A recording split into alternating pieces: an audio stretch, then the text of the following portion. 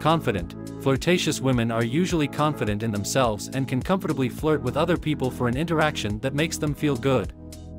Social, flirtatious women usually like to be sociable and communicate frequently with people around them.